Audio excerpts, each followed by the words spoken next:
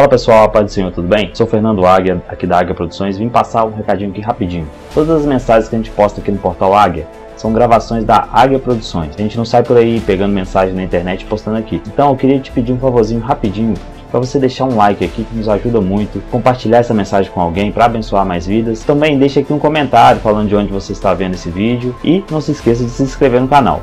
Deus abençoe e boa mensagem para você.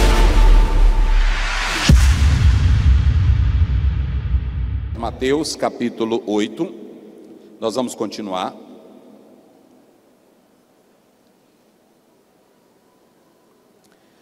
Oito, e nós vamos ler agora do verso 9 até o verso 13. Diz assim: E o centurião respondendo disse: Senhor, não sou digno de que entre debaixo do meu telhado, mas diz somente uma palavra e o meu criado sarará. Pois também eu sou homem sob autoridade, tenho os soldados a minha ordens, e digo a este vai e ele vai, e ao outro vem e ele vem, e ao meu criado faz isto e ele o faz. E maravilhou-se Jesus ouvindo isso e disse aos que seguiam, aos que o seguiam: Em verdade vos digo que nem mesmo em Israel encontrei tanta fé. Mas eu vos digo: muitos virão do Oriente e do Ocidente a, sentar-se a uma mesa com Abraão, Isaac e Jacó no reino dos céus. E os filhos do reino serão lançados nas trevas exteriores, e ali haverá pranto e ranger de dentes. Então disse Jesus ao centurião: Vai e como crestes, te seja feito. E naquela mesma hora o seu criado sarou. Muito bem, podeis sentar, muito obrigado. Nós começamos na parte da manhã falando dessas duas palavras, é, autoridade e submissão. Isso aqui é muito importante, pastores. E nós estamos falando sobre as evidências de quem tem submissão. A primeira é que eu falei, ele está interessado nos outros. Qual é o primeiro sinal de que um líder é submisso? É quando ele está interessado nos outros. Qual é o segundo sinal de que ele é submisso? É quando ele não se acha digno. Eu citei aqui 1 Coríntios 15, 9. Paulo disse: A mim, o mínimo dos apóstolos, não sou digno de ser chamado apóstolo, porque eu persegui a igreja de Deus. Mas em terceiro lugar, a outra evidência de quem vive em submissão, essa parte eu não falei, é reconhecer que há uma autoridade maior. Há uma autoridade maior. Queridos, deixa eu dizer uma coisa para os senhores: quantos municípios tem aqui que a convenção dirige? Aqui a convenção, quantos municípios ela alcança?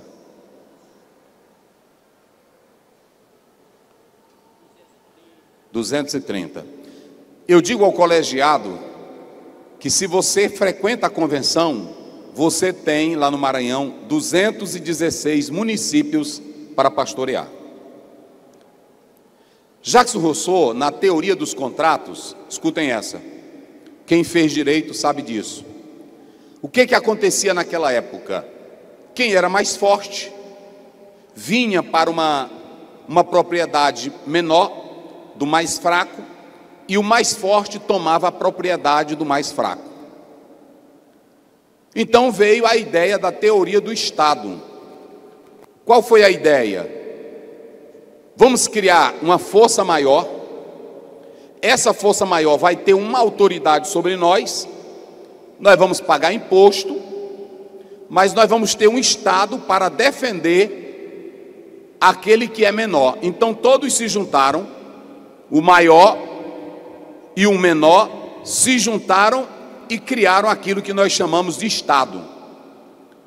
Vocês podem observar a bênção que é um Estado para nós. O poder de polícia vem do Estado, o poder da educação vem do Estado, o poder da saúde, ainda que fragmentária, vem do Estado. Vocês reclamam do Brasil? Nos Estados Unidos, vá para lá e fique hospitalizado lá. Tudo é pago. E caríssimo. Tudo vai para a tua conta. Se você chegar bem aqui no Peru, não tem aposentadoria como tem aqui no Brasil. ainda que seja fraco aqui a nossa. Mas não tem, não tem. E tem outra coisa: o Estado não ampara como nós somos aqui amparados. Então veja a importância de se ter um Estado.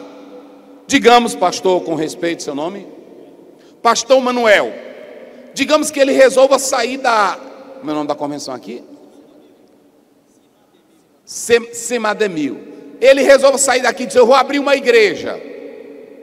Ele abre uma igreja um ministério, mas esse ministério dele não tem autoridade nenhuma, porque é só ele. Qual é a autoridade que ele tem? Por exemplo, quando um pastor falha, erra ou peca, tem uma autoridade maior que é a convenção, que entra para tratar daquele caso.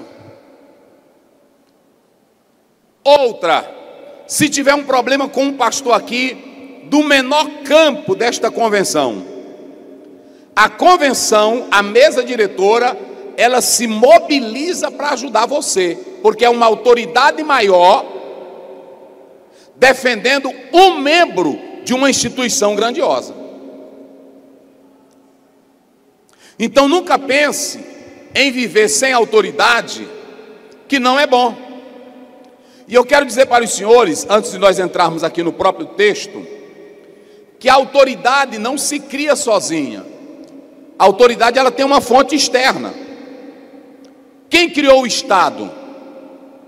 Há um livro do naquele dicionáriozinho do Jeremias do Couto, aliás, Claudionor de Andrade, quando você vai para o estado natural, porque nós temos o direito natural, o direito positivo, no direito natural, tudo é beleza. Mas o próprio Deus cria um estado de Israel para que eles tenham autoridade. Então nunca pense em viver sozinho, que você não vai ter autoridade de nada. O centurião, ele disse assim: o centurião disse assim: eu também sou homem debaixo de autoridade. Tenho soldado as minhas ordens. Eu digo a este vai, e ele vai. Eu digo a este vem, e ele. E eu digo a este faz isto, e ele faz. Então veja bem, autoridade não se cria sozinho. A autoridade ela tem uma fonte externa. Eu vou dar um exemplo aqui é, com todo respeito, três pastores aqui, rapidinho aqui pertinho de mim. Três. É rapidinho. Três pastores aqui. Só um exemplo aqui para os senhores, até para despertar, para ficar bem gostoso. Pode subir aqui, meus pastores. Muito bem, isso, fique bem aqui. Isso, apareado assim mesmo. Ó, pronto. Três líderes. Digamos que esse aqui, esse aqui é um major. Vamos colocar um tenente. Esse aqui é um cabo e esse aqui é um soldado. Eu pergunto aqui aos senhores: qual é o mais fraco desses daqui, dos dois? Dos três, qual é o mais fraquinho? Só quem tem boca bem forte, quem é? Vamos lá para despertar o sono, quem é? O soldado. Mas esse aqui, digamos que é o comandante. Ainda tem um chefe de segurança do Estado, não tem? Mas se esse soldado está lá no interiorzinho de Minas Gerais e um bandido matar o soldado, o bandido está mexendo com quem? Hein? Vamos lá, ele está mexendo com quem? Com o Estado. Então, esse soldadinho que está lá, que a gente não dá nada por ele, ele representa quem? O Estado. Quando ele mexe com o Estado, mexe com o governo do Estado, o chefe de segurança, mexe com o tenente, mexe com o major, e eles vão procurar saber quem matou o soldado. Olhe para cá. Autoridade e submissão gera submissão. Esse aqui, ele pode ser o major, mas quem é que deu a estrutura para ele ser major? Hein? Eu quero que os senhores participem, que eu vou falar uma coisa bem verdadeira aqui. Quem foi que deu autoridade para ele ser major? Vamos, pastor, só quem tem boca me ajude. Quem foi que deu? Diga bem forte: o Estado. Sabe por que eu estou dizendo isso aqui? É porque às vezes você diz assim: olha para cá, uma convenção te pega do nada, do zero, e te coloca dentro de um, de um sistema, e tu cresce, e amanhã tu se acha maior do que a convenção. Ou eu me acho maior do que a igreja. Vocês sabiam que tem esse problema? Olha, olha vamos lá, eu vou já mostrar, fica aqui, pastor, por favor. E eu vou já mostrar, mostrar para tu na Bíblia. A primeira convenção que teve na Bíblia, qual foi? Atos 15. Vocês sabem que a igreja que sustentou o mundo todo daquela época, qual foi a primeira igreja que sustentou o mundo todo daquela época? A igreja de Jerusalém, a de Jerusalém. Olha para cá. A igreja de Jerusalém, ela vai ficar pobre por causa da perseguição. Entra a igreja de Antioquia, que manda Paulo e manda Barnabé. Lá tinha cinco mestres. Não é isso?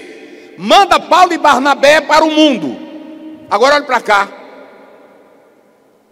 Mas quando a igreja de Jerusalém fica pobre, quem é que vai criar uma oferta para ajudar a igreja de Jerusalém? Paulo. Olha, olha o que os pastores estão vendo. Quem é que cria a igreja uma oferta para ajudar a igreja de Jerusalém? E eu pergunto aos senhores: o que que Paulo tinha a ver com Jerusalém? Ele foi fruto da igreja de Jerusalém? Não. Ele não foi fruto. Mas se vocês analisarem, para Paulo ter o ministério dos gentios, quem foi que deu autoridade para Paulo pregar para todo lado com autoridade boa. Quem foi que deu? Hã? Pronto, a igreja de meus pastores, vamos ouvir isso, não é isso? A igreja de Jerusalém legaliza Paulo. E quando Paulo olha para os pastores da igreja de Jerusalém, eu queria que um pastor, para não dizer que é coisa da minha cabeça, leia aí Gálatas 2,9. E aí lê, lê, pode até gritar. É, lá no Maranhão tem uns pastores que gostam de gritar lendo a Bíblia. Para aí, pastor. E quando Tiago, Cefas, olha isso, pastores.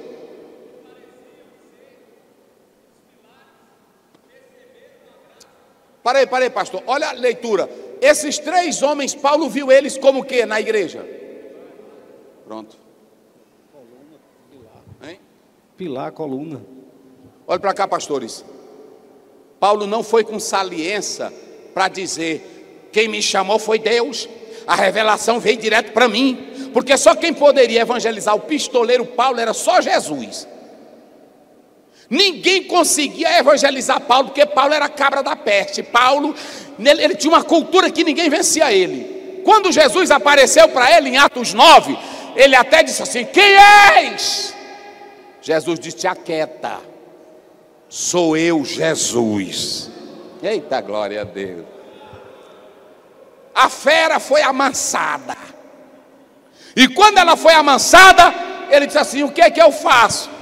E Paulo se dirigiu para Jerusalém e disse: Eu fui lá e eu vi as colunas da igreja.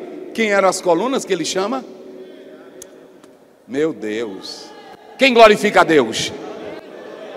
Então veja bem, olhe para cá, para você entender como é interessante. Aqui não existe autoridade se criando. Ele só é major porque tem o quê? Um estado para botar ele como major. Eita, quando o governador bota ele, aí ele, ele entra aqui com um monte de estrela. Agora eu vou fazer uma pergunta aqui para os senhores. Teve uma cidade do Maranhão que o cabo botou o nome para vereador e não ganhou. E ele, ele disse: Eu sou doido por uma cadeira, eu quero é uma cadeira de vereador. E não ganhou. E ele pegou uma cadeira e foi botar lá na Câmara e sentava na sessão de vereadores. Eu pergunto: vale? Por que, que não vale? Mas ele não está na sessão? Ele não levou uma cadeira? Então olhe para cá. Se ele aqui pegar e fizer uma farda com um monte de estrela de major, vale? Ainda que a estrela seja mais brilhante, vale? Por que, que não vale? Porque não foi dado pela. Tem um bocado de pastor aí que ele mesmo se consagra. Ele mesmo se ora. E olhe para mim aqui, tem muitos que estão tentando reinar, mas o rei, dono da obra, não sabe. Quando Adonias sentou no trono, aí o próprio Natan chegou e disse: Tu sabia que Adonias reina e tu não sabe? Eita, mas é ruim o caba reinar sem Deus te botar. O Adonias estava reinando mas o pai não botou. Olha para cá como as coisas vêm de Deus. Aí o Davi já velho, sem força para nada, acabado. Aí ele disse: Natan, manda pegar minha jumenta velha. Aí pegou a jumenta velha e disse: Bota Salomão em cima da jumenta. Quando é de Deus, irmão, tu pode sentar em cima de um cachorro velho, mas se for Deus que manda. É assim ou não é? A jumenta velha, que Davi estava velho e a jumenta dele já estava velha também.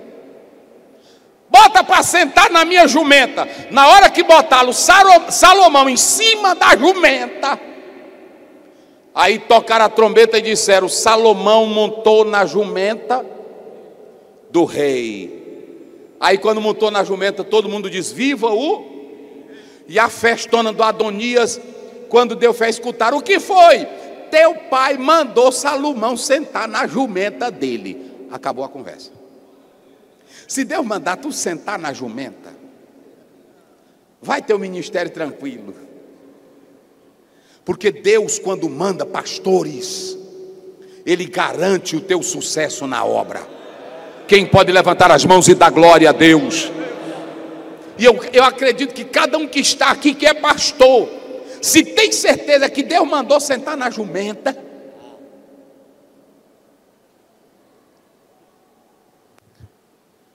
esse aqui é major colocado pelo Estado, mas esse aqui é também colocado pelo.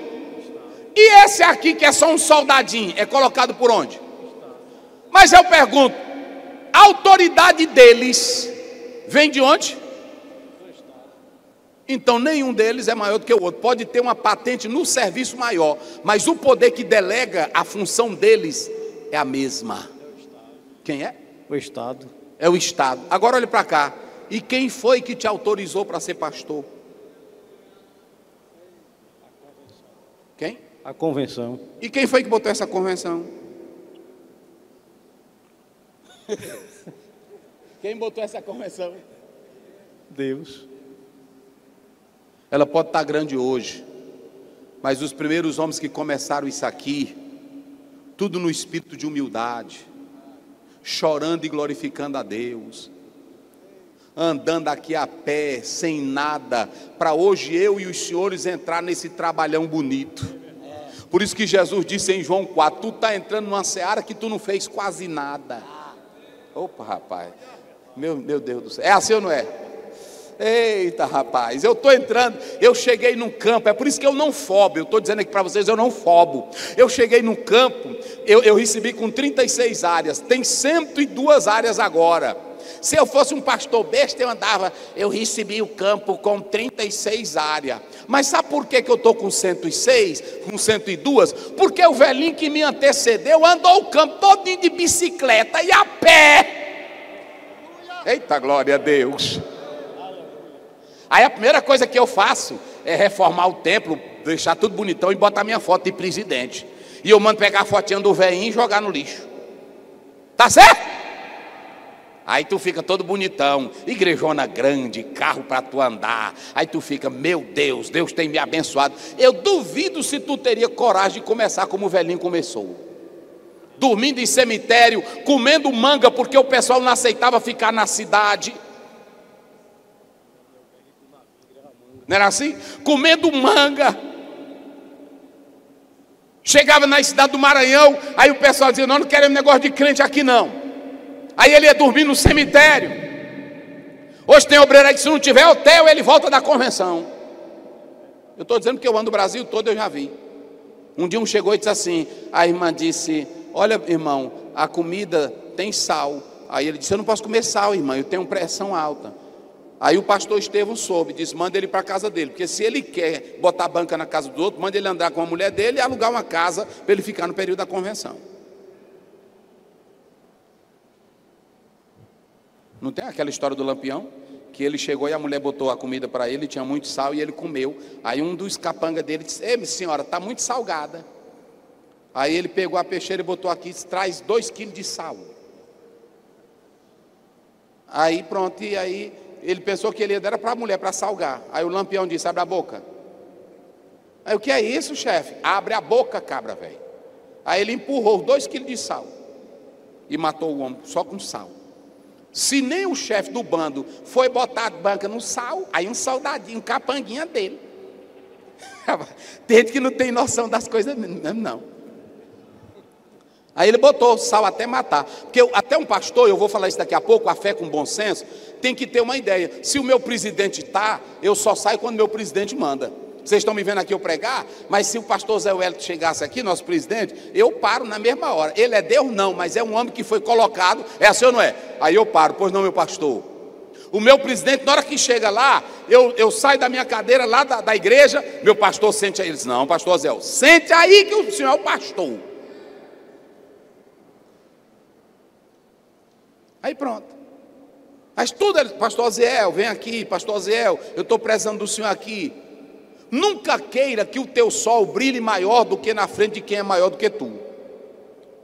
Na, na China, tinha um imperador que ele gostava de fazer festa, mas tinha um, um chefe um, um, um, que trabalhava com ele que fazia a festa maior do que o imperador. Aí o imperador disse: Esse cara deve estar tá me roubando, porque para ele fazer festa maior do que eu. Aí ele mandou matar o outro cara. Então, se a luz do comandante, do major, é maior, e se tu é só uma velhinha, fique só com a tua vela por enquanto. Quando chegar a vez de tu seres sol, aí tu vai ser sol. Cada um tem um momento na sua vida. Tem um momento que eu vou ser diácono, tem um momento que eu sou auxiliar. Eu não vou entrar nessa parte, o pastor Josué disse que vai falar isso. Agora, quem dá autoridade para eles é o, o Estado. Assim como o Estado dá autoridade para ninguém mexer, olha para cá, Colossenses 3, 2 e 3, a nossa vida está escondida com Cristo em Deus. O pastor que está lá no campo de trabalho tem uma convenção que envia ele para lá. Mas essa convenção que envia também são homens escolhidos por Deus. E esse pastor que está lá, a Trindade Eterna, Pai Santo, Deus, Jesus Cristo, Espírito Santo, a Trindade eterna, é quem protege o pastor e dá vitória para a glória de Deus. Amém? Obrigado, pastores. Mas vamos analisar uma coisa. Vamos analisar uma coisa. O marido, vamos falar de autoridade. O marido dentro de casa tem autoridade ou não tem? Ele tem. O marido tem autoridade. Mas eu pergunto: o marido tem submissão? É a minha temática, autoridade e submissão. O marido tem autoridade? E o marido tem submissão? Onde é que ele tem submissão? Porque quando a gente lê Gálatas, Efésios 5, 22, quem é que tem submissão? É a mulher. Olha aqui, a mulher seja o que? Submissa a quem? Ao marido. A mulher é sempre mais tendente a não ser submissa. Mas só que tem um problema. Por que, que a mulher tem que ser submissa ao marido, se ele é autoridade? Qual é a causa da submissão dela? Qual é, pastores? Lá no 24 responde. Mas eu vou fazer aqui a pergunta melhor para os senhores. Qual é a causa da submissão da igreja para com Cristo? Cristo tem autoridade, é a cabeça, Ele é o maior. Mas por que, que nós nos submetemos a Cristo? A resposta está aí no 24 de Efésios 5. Por que, que uma mulher é submissa ao marido? Olha para cá. Isso não é autoridade. Um déspota, um, um, um tirano. Tu me respeita que aqui dentro dessa casa quem manda sou eu. Fala baixo, senão eu quebro tua boca, irresponsável. Tu me respeita, bicha ruim, que eu sou pastor. Eu pergunto aqui aos senhores: essa mulher que é casada com esse pastor, ela vê nele autoridade ou autoritarismo? E aonde é que está a causa da submissão dessa mulher ao marido dela? Hã? Ah, onde é, pastor? Amor. Diga de novo. Amor. No amor, olhe para cá. Paulo diz: mulheres, sejam submissas aos vossos mas ela só vai ser submissa porque é o marido dela. Cuida dela, ampara ela, ajeita ela, faz mimo para ela, faz carinho para ela, dá o sustento dela. Então não existe submissão à força dentro do, do, do lado eclesiástico. Então a primeira coisa que, eu quero dizer é isso aqui. Toda, toda autoridade, toda autoridade está sujeita à submissão. Romanos 13, primeiro. Toda autoridade é constituída por, por Deus. Se você não quer viver debaixo de autoridade, saia de todo o sistema da terra. Quando você se inscreve na OAB, lá tem um chefe da OAB. Quando faz um concurso para juiz, tem um juiz que manda. Quando faz um concurso para soldado, tem um superior. Quando vai andar na rua, tem um guarda de trânsito. Tem um sinal. Não tem ninguém que não viva debaixo de submissão.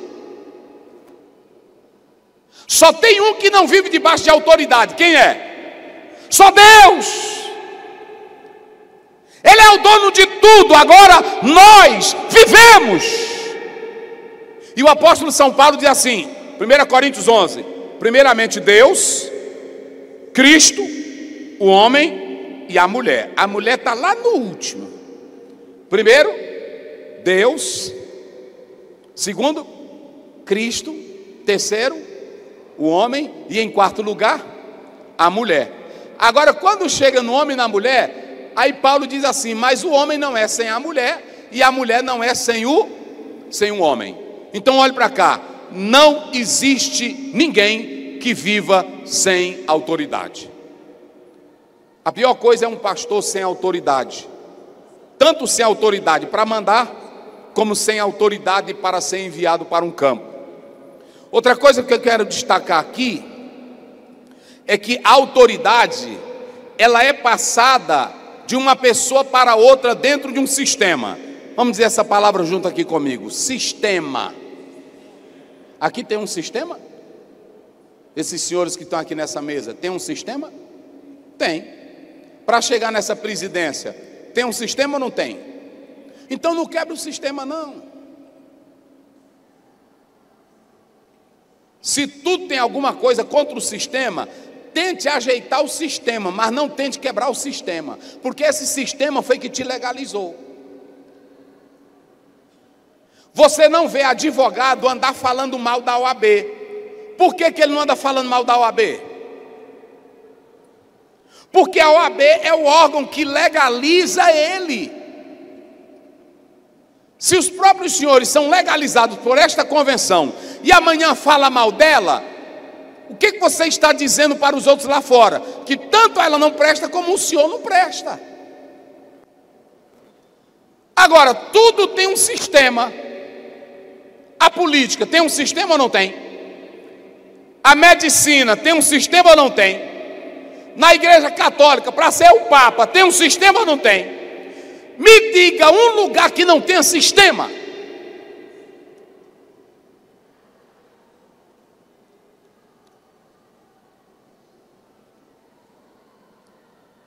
Pastor Aziel, e se o sistema tiver com defeito, tiver falido, se o, o sistema tiver ruim, olhe para cá, os judeus não gostavam de Cristo, mas ele sabia que a, a, os judeus foram estabelecidos por Deus. Quando você lê Lucas 4, eles não gostavam de Jesus, mas a Bíblia diz: e todos os sábados Jesus ia para a sinagoga. Ora, como é que eles não gostavam de Jesus e Jesus ia para a sinagoga?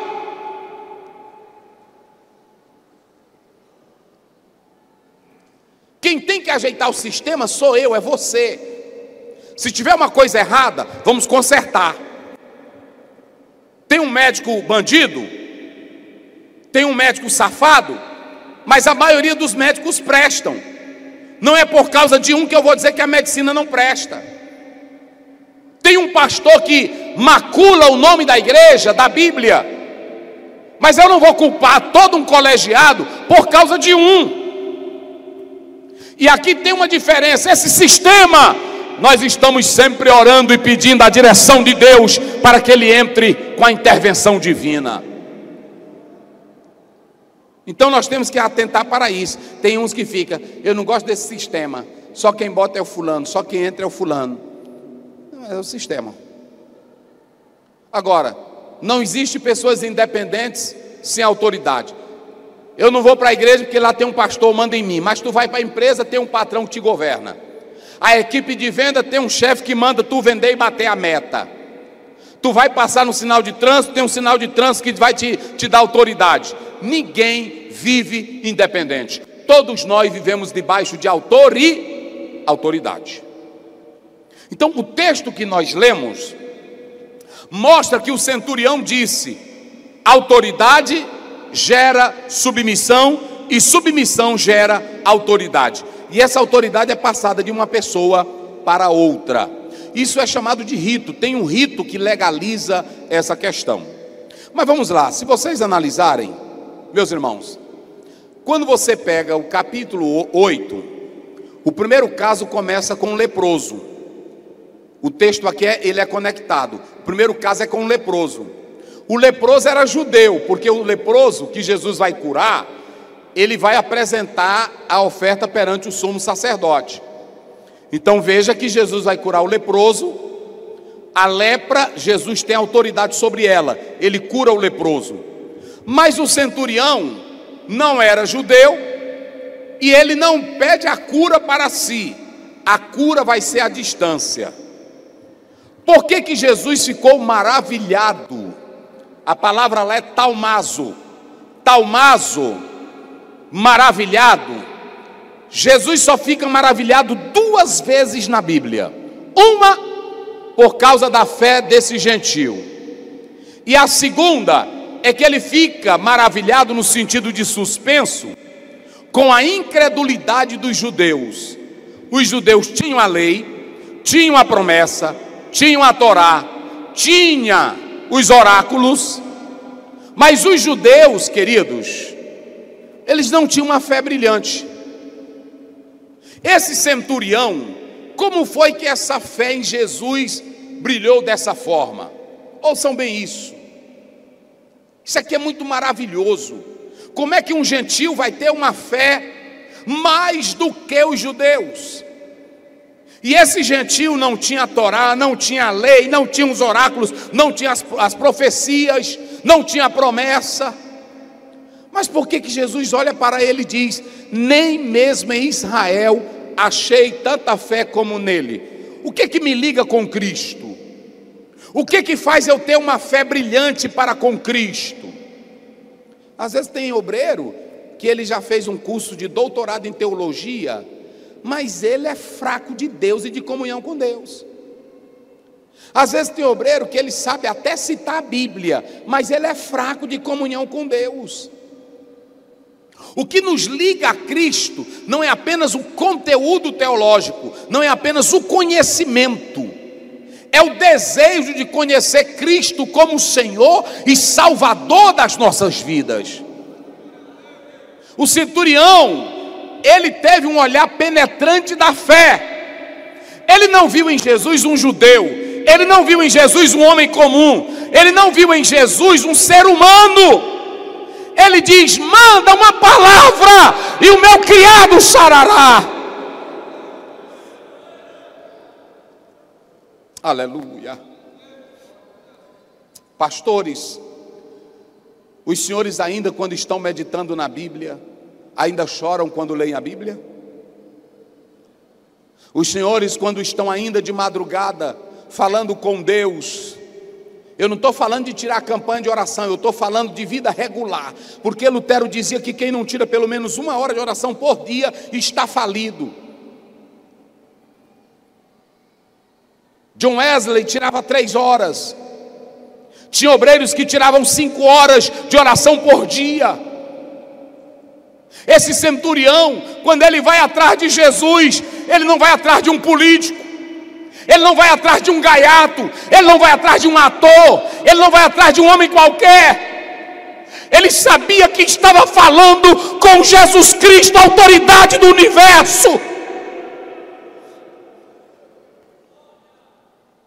E olha o que ele diz: não precisa ir lá em casa. Tem muitos homens que Jesus foi na casa. Jesus foi na casa de, Lu, de, de, é, de Zaqueu, Lucas 19.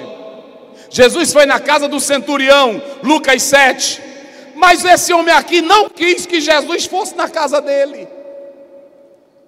Não precisa ir lá em casa.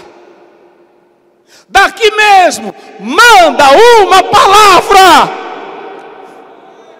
Quem acredita nisso? Pega a tua Bíblia, levante ela aí em nome de Jesus e diga: manda uma palavra. Uma palavra. Uma palavra. Uma palavra. Uma palavra. Aleluia. Aleluia.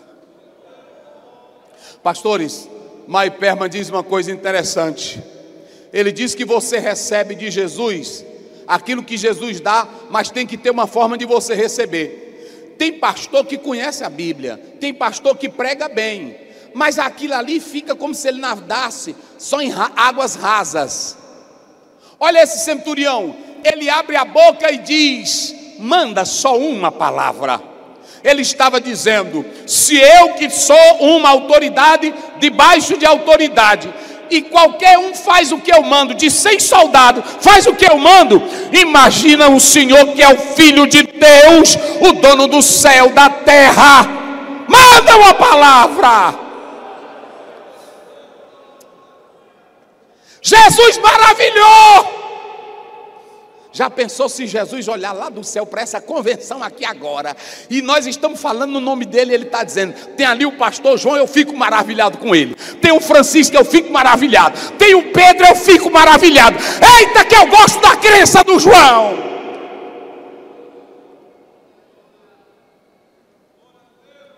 Porque Deus faz isso. Três homens que Deus apresenta na Bíblia como padrão. E um que ele diz para o diabo: Ei, diabo, vem cá, Satanás. Tu já viu meu servo Jó? Só que esse centurião bateu em todo mundo. Jesus disse: Eu nunca vi. Por quê? Porque ele não tinha Torá, ele não tinha promessa, ele era um gentil, ele não era ligado a Israel, ele estava estranho à comunidade de Israel mas de longe ele olhava para Jesus e dizia: Aquele é maravilhoso, aquele é o Filho de Deus, aquele é quem tem todo o poder nos céus e na terra, ele é o Filho eterno de Deus.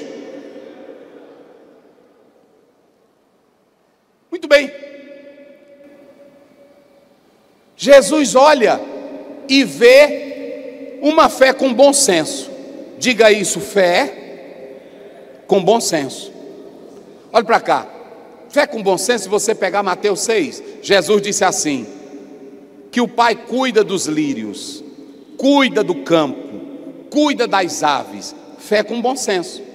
Lucas 14, se tu quer aceitar, senta primeiro e vê se o exército que vem contra ti não é maior do que o teu. A fé de um pastor tem que ser uma fé boa, uma fé sincera, mas não uma fé doida, porque tem pastor que tem fé doida. E essa fé doida pode acabar com o ministério dele. Às vezes ele tem uma fé doida e diz: vou destruir aqui esse templo e vou construir outro. Mas aí ele tem que calcular primeiro. Porque a fé ela também envolve o bom senso, porque tem deles que saem do lugar devendo todos os comerciantes da cidade, porque não pode pagar o tempo que ele começou a fazer. Então esse negócio de tu ter uma fé doida, muito cuidado. A gente, às vezes, na emoção, está pregando aqui, aí a gente diz cada coisa, é assim ou não é? Tem um irmão que estava pregando, aí o irmão pregando, e aí disse: Eu, nesse momento, eu quero dizer que eu estou cheio da língua caturiana. E ele pregou, pregou, pregou. Quando terminou, o irmão disse: Irmão, o que é língua caturiana? Ele disse: Eu não disse isso. O irmão disse: Eu ouvi. Ele disse: Eu não disse. Ele está aqui gravado. Aí ele disse: Irmão, quando a gente está pregando, o Espírito Santo bota cada bobagem na boca da gente. Que eu não sou responsável. Olha, não existe essa, gente. Não existe essa. O Espírito Santo, ele não te dá loucura. O Espírito Santo te dá discernimento. Amém? Quem acredita assim, diga glória a Deus. Ele te dá o que? Discerne. Jesus disse: Nunca nem em Israel eu achei tanta fé como neste.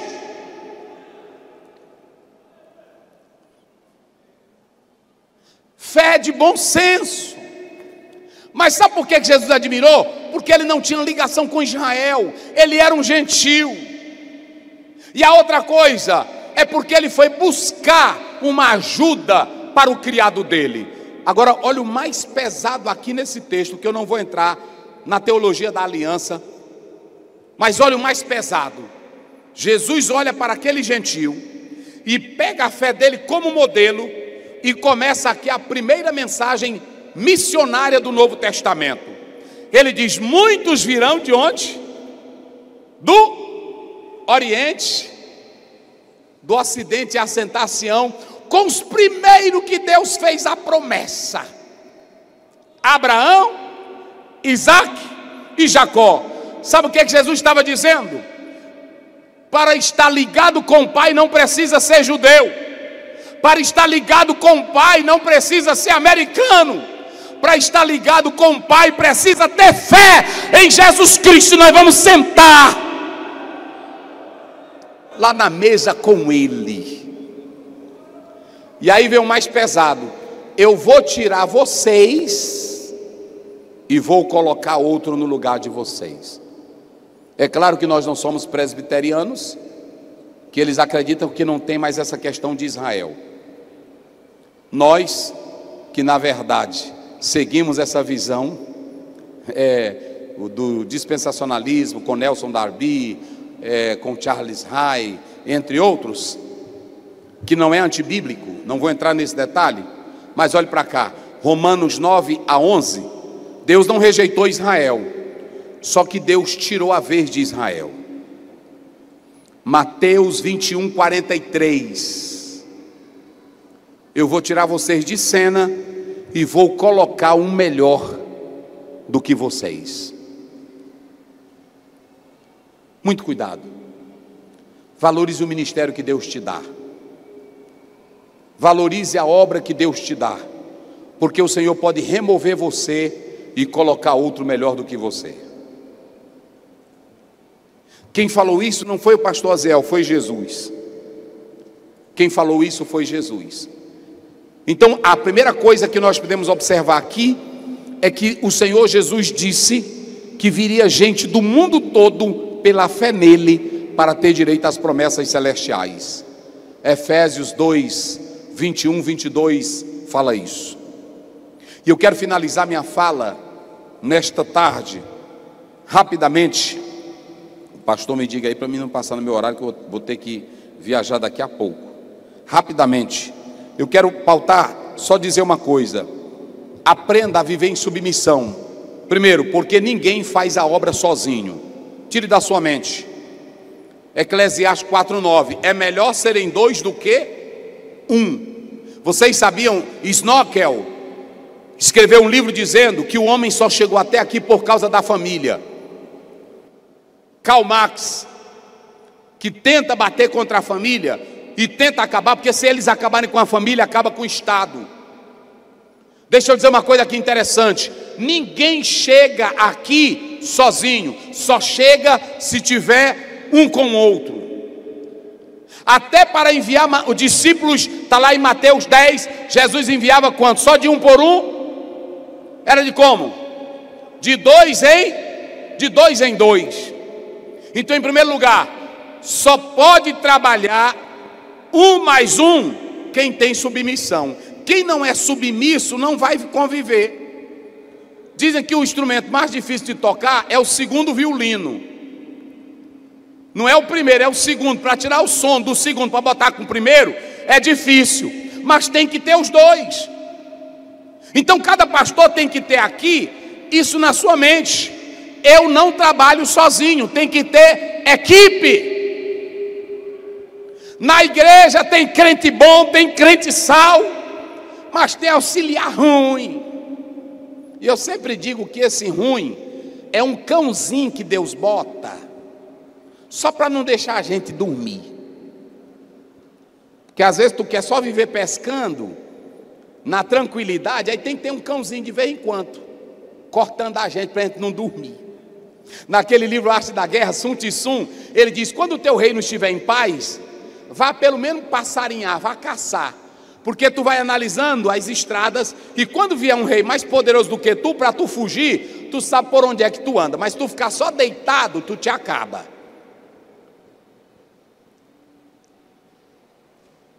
Às vezes o irmão chega lá em casa, pastor Zé está aí. Nunca o irmão pergunta, pastor está deitado? Ele só diz assim: pastor está deitado? Parece que eles têm uma ideia que a gente só vive dormindo. é assim, não é? Pastor está deitado? Por que, que ele não pergunta, pastor está orando, não é assim? Pastor está lendo a Bíblia? Não, só pergunta, pastor está deitado. Olhe para cá, ninguém faz a obra sozinho. Ninguém faz a obra sozinho.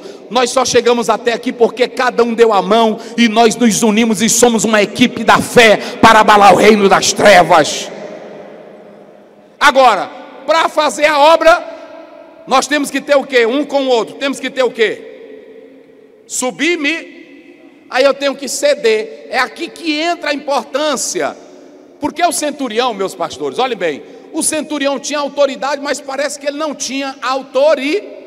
Porque a autoridade não está na, no grito que você dá, na fala, a autoridade está no bem que você faz, no caráter que você tem e na ajuda que você dá para os outros. Teve um pastor aqui numa cidade que ele, o pai adoeceu e mandaram chamar o pastor, ele não foi. Estava perto de morrer, mandaram chamar o pastor e ele disse que estava ocupado. E aí, quando foi no dia que o irmão morreu, o pastor chegou para fazer o ato fúnebre. E os irmãos disseram: Pastor, nós não queremos que o senhor faça o ato fúnebre do papai. O senhor não respeitou a pessoa do papai. Até Lázaro, quando morreu, as irmãs mandaram chamar Jesus, está lá em João 11. E Jesus fez o quê? Jesus foi. Vocês sabem, tem uma coisa que nunca ninguém vai tirar de um crente. Aquela irmãzinha que entra na secretaria com temor de Deus, que não sabe o que é teologia, que não sabe o que é dízimo, ela entra lá porque um dia ela recebia visita de um pastor, oração de um pastor e cuidado de um pastor. O que mais nos liga com os nossos membros é o nosso amor para com eles. A juventude pode ficar bonita com parede preta, com som e com gente pulando, mas tem uma coisa que ninguém consegue roubar de um pastor: o amor que ele manifesta para com as ovelhas. Pode ele não pregar bem, pode ele não ter uma linda mensagem, mas se ele está ali presente no ato fúnebre, desde o momento que morre, desde o momento que está doente até a hora que bota lá no buraco, a família olha e vai dizer: nosso pastor é um homem de Deus, é um homem cuida. E o que foi que Jesus disse lá em, lá em João 21, 17 para Pedro? Tu me amas? Então faça o que? Não se pode apacentar rebanho se não se amar as ovelhas de Cristo Jesus. Então, tem que ter isso aí. Segundo, nós podemos analisar espírito de submissão. Jesus enviou de dupla. Se eu não consigo conviver com meu irmão aqui, como é que eu vou conseguir conviver com os demais? Eu disse agora há pouco que o povo não gostava de Jesus na sinagoga, mas ele ia para a sinagoga. Quando eu sei que o irmão mais fala de mim, aí é que eu vou lá onde ele. Senhor, meu querido, tudo bem? Tudo bem, pastor Zé? Como é que está? Tudo bem? Como é que está a família? Tudo bem. Aí eu fico lá.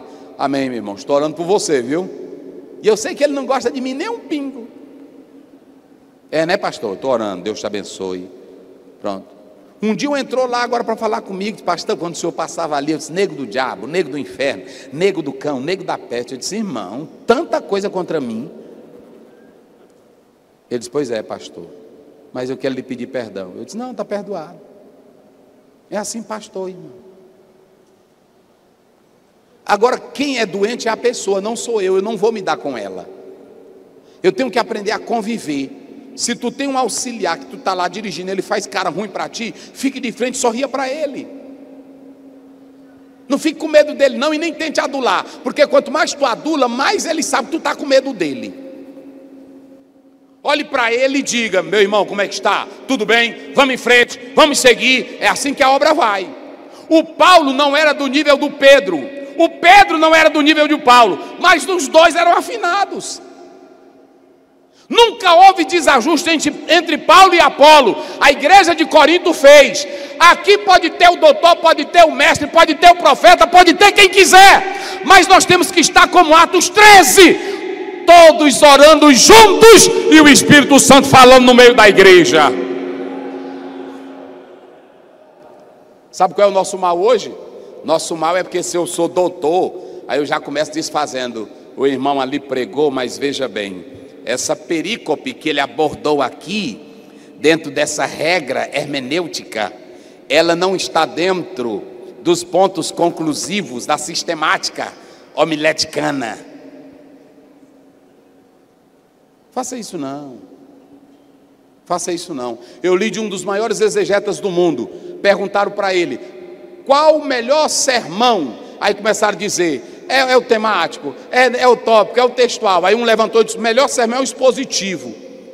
Aí perguntaram para ele: diga aí, doutor. Ele disse: o melhor sermão é aquele que o povo te escuta e recebe a palavra. Porque às vezes tu fala todo organizadão, bonito e o povo nem. É assim ou não é? Tem dia, irmão, que a gente prepara a mensagem. E eu li agora de um autor que ele diz que 50% é o auditório. Se vocês não estiverem dispostos para ouvir, eu posso preparar a mensagem mais bonita do mundo e vocês não vão dar nem as horas para ela.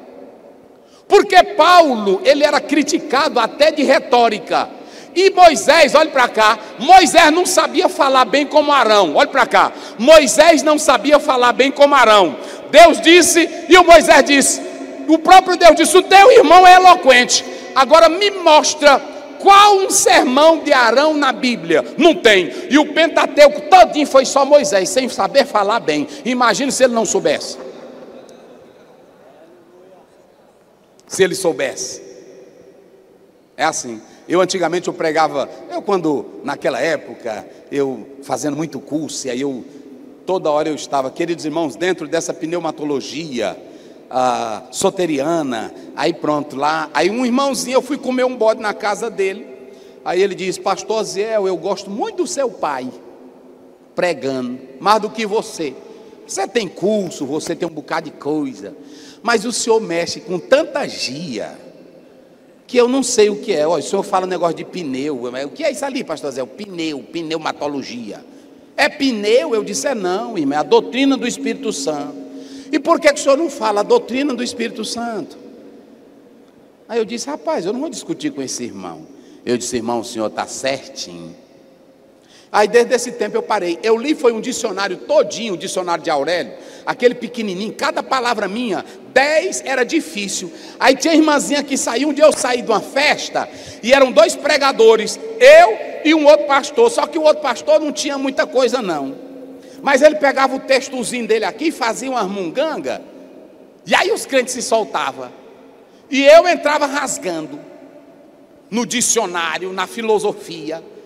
Aí eu vi quando terminou o culto, eu ia saindo e uma irmãzinha saiu na frente. Aí uma perguntou para a outra: Tu gostou do culto? Eu disse: Gostei demais.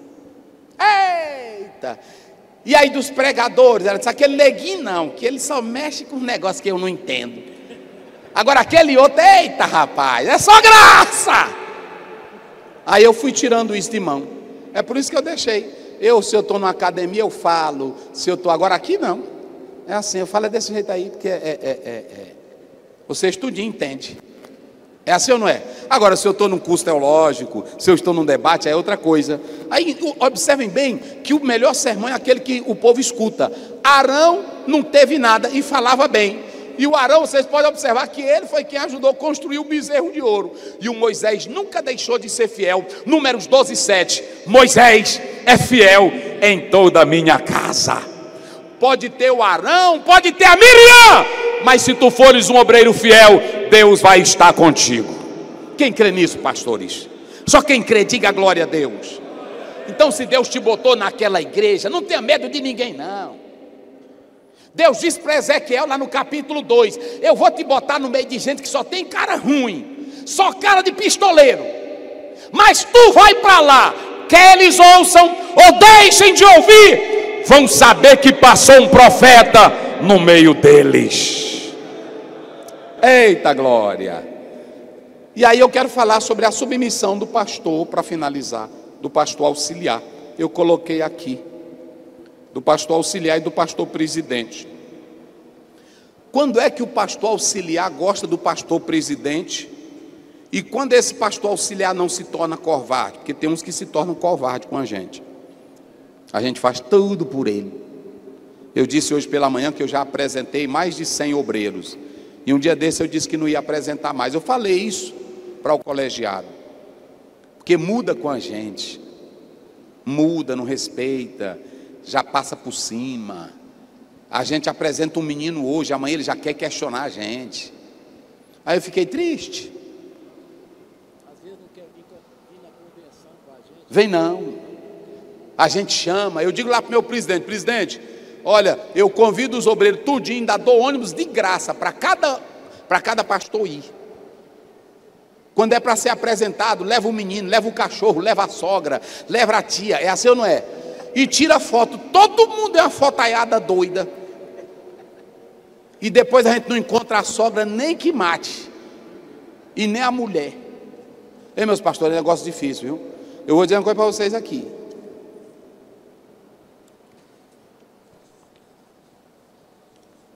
Pastor auxiliar e o presidente. Pastor presidente é o chefe, é o homem escolhido, pastor Josué vai falar. Mas quanto mais ele é brando, quanto mais ele é carinhoso, quanto mais ele é amoroso, o pastor auxiliar vai confiar nele. Quando ele olha para esse pastor auxiliar sem objeto, sem ser mercadoria, sem ser um, um, um empregado seu, tratando bem o seu auxiliar, remunerando bem quando pode, porque é bom remunerar bem o seu pastor auxiliar. É bom remunerar bem. Lá os nossos pastores, todos nós pagamos o INSS de cada um. Eu sei que cada igreja é uma realidade, mas eu pago de tudinho. Não é como Saul, porque Saul, ele disse assim: "Eu dou terra para vocês, eu dou tudo e vocês não defendem a mim, só defende Davi". Não adianta conquistar gente ruim com presente que tu vai se afundar ainda mais. Não adule auxiliar ruim tentando conquistar com presente.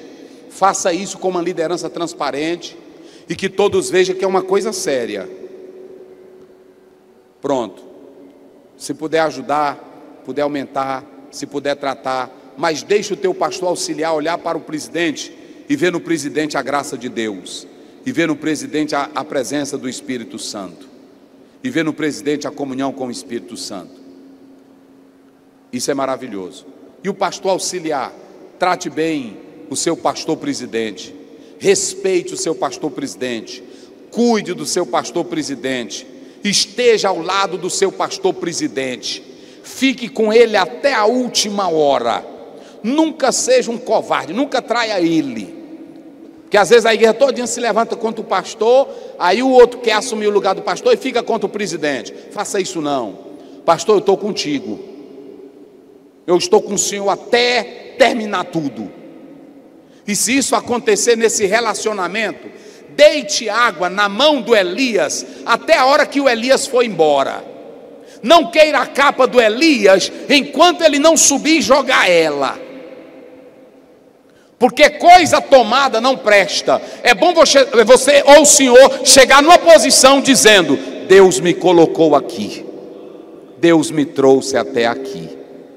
Quem crê que Deus pode colocar? Deus pode. faça o seu trabalho tranquilo, faça o seu trabalho com humildade e busque esse relacionamento. Aqui não tem superstar, aqui não tem estrela, aqui todos nós estamos fazendo o trabalho do Senhor Jesus. Amém? Pai Santo, Pai querido, nós te agradecemos pela tua palavra. Eu quero te pedir agora, Senhor, que o espírito de temor, de submissão, esteja cada vez mais em cada pastor aqui presente. Abençoando essa mesa diretora com seu presidente. Senhor Deus, e que esta convenção de homens, mas de homens santos, de homens, mas de homens escolhidos, não é uma assembleia qualquer, é um ajuntamento para glorificar o teu nome, para pensar no melhor para a tua obra e para o teu trabalho. Continua abençoando os teus filhos, continua abençoando os teus servos, continua abençoando esta convenção, em nome de Jesus. Amém. Diga comigo: somos todos assim bem ajustados, totalmente ligados, unidos, vivendo em amor, uma Vivendo o que? Promisso, o grande amor de Cristo, expressando a glória do Senhor, uma família, sem qualquer falsidade, vivendo a verdade. Eu preciso de ti querido irmão. Eu sei que aqui só é pastor, mas são pastor crente. Vira para o pastor que está ao teu lado e aperte a mão dele e cante essa frase com ele. Pega a mão desse pastor aí, na autoridade de Deus, e diga assim: Eu preciso de ti, querido irmão. Precioso és para mim, querido irmão. Que Deus abençoe. Fiquem Glória na paz, pastores. Você quer divulgar o seu evento, sua igreja, com um vídeo como esse? Vem aí, vem aí. Pentecostes 2023. No Ministério A Colheita Internacional. Com o tema Não deixe a chama se apagar. Levante-se e prepare-se. O noivo vem. noivo vem. Preletores, Pastor Diego de Oliveira. Então acesse agora aguiaproduções.com e vencer águia.